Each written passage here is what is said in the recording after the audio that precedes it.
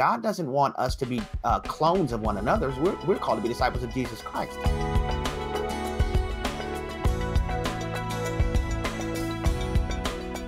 We're talking about family discipleship and about the spiritual leadership of fathers in the home. And um, you know, I I love talking about family worship time. It looks different for every family. You know, yeah. for some families, and depending on the ages of your children, for some families, it could mean you know reading a portion of a psalm in the morning yeah. and singing some worship songs and praying or it could just mean reading you know an entire chapter of a book of the bible um, and and mm-hmm. learning and i think sometimes and i would love for you to to encourage parents in this way sometimes parents feel like well i don't know enough about the bible hmm. i i'm not well educated in the bible i you know have a hard time understanding it myself so how can i teach it to my children how would you encourage that parent yeah i, I would encourage uh, that parent by saying that God knows exactly who you are and he knew who you were uh, before you had your children. And he nevertheless brought your children through you for the express purposes that you would serve them in this, this manner. There is no particular gift set that is a prerequisite. There's no particular educational uh, mat- uh, matriculation that's a prerequisite for doing this. Uh, one of the greatest things we can do uh, in uh, endeavoring to disciple our children is to show them the humility that that we need to live as Christians ourselves. Uh, to show them, hey, I don't know this. Let's go and learn this together. Show them how uh, to to study. Uh, I'm thinking about a particular family in our local assembly where we had this exact conversation uh, where a father said, "Hey, you know, I, I can't teach the Bible like you."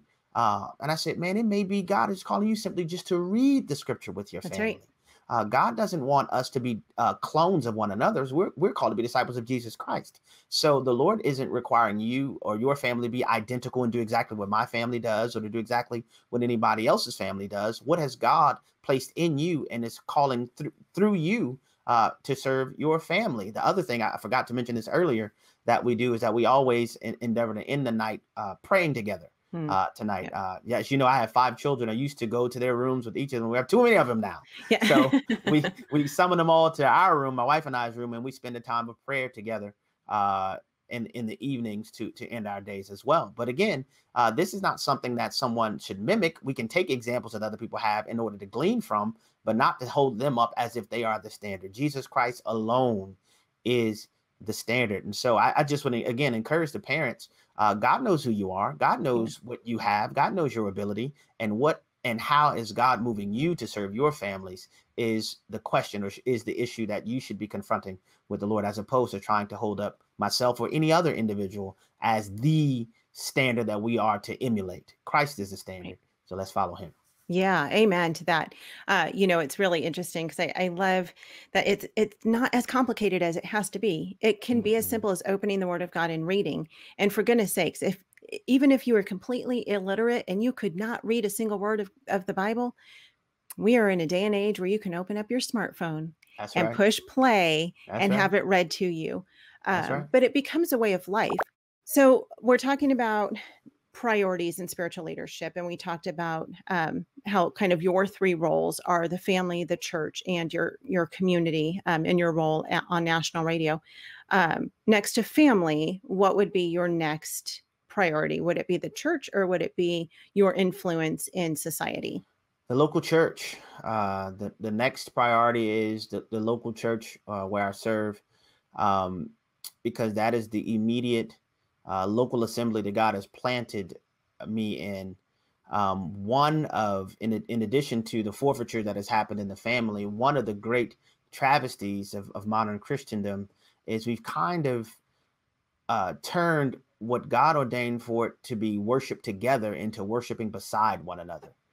Um, we in in in in seek to include uh, as a part of our corporate worship every weekend a, a time of breaking bread together and fellowshipping together. So we have fellowship meals together. We don't have kind of as a traditional church service. We spend hours and hours and hours together uh, because the truth is we need one another. Yes. And as things become more and more challenging and more and more difficult, it it becomes uh, a great obstacle, a great impediment to obey the scriptures commands concerning bearing with one another and one anothering if we don't even know each other. You That's know, right. And in many ways, we've allowed kind of the world's pace and the world system to kind of move us to where we worship beside one another. We don't really know each other. We rarely even know each other's names, let alone yeah. know each other personally. And so, in addition to, uh, I would say, subsequent uh, or second to, to the to my immediate family is my commitment to our local assembly. Uh, that God has planted us together. He not only made us uh, he didn't just connect us like Lego pieces, and that's right. my dad peeking through, but he's made us members of one another. And what I found is that as a result of, of, of doing life as a local assembly in that way, it's kind of uh, eliminated the distance that would allow for accusations and invectives and things to be hurled because we we we have, by God's grace, grown into a tight knit family of believers. And so, follow my immediate family. My next commitment is to our local church. So, and and being committed to your local church, um, and and being one who leads your local church, how do you help to equip the families, the parents in your church to lead their families in their homes? Yeah. So one of the things that God has moved us to do is that we have family shepherding meetings mm-hmm. um, to where we specifically spend time praying and teaching the scripture and devising strategy with the families in our local assembly to empower the fathers to lead their families.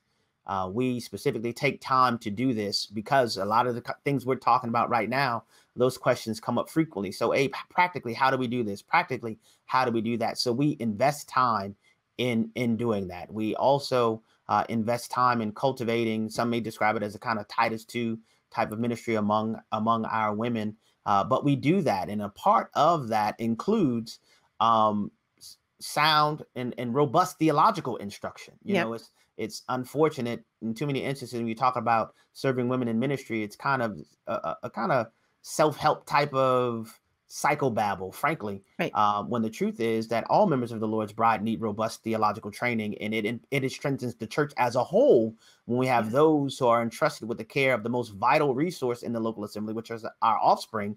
Right. Uh, it, it strengthens the church as a whole for the members of the body to be equipped to do the work of the ministry. And Ephesians 4 explains that very, very uh, plainly. It, in though it is the church's, I'm sorry, though it is a parent's responsibility to serve as a primary resource for discipleship and instruction for subsequent generations, the church has a role in equipping the saints for the work of the ministry. And so we take that very seriously. And so we endeavor to invest in the people so that they may be fortified in training and instructing and shaping their families. Homeschool Insights is sponsored by CTC Math. If you're looking for a great online math program, visit ctcmath.com and try it for free. For more great homeschool inspiration and resources, listen to the Schoolhouse Rocked podcast every Monday, Wednesday, and Thursday.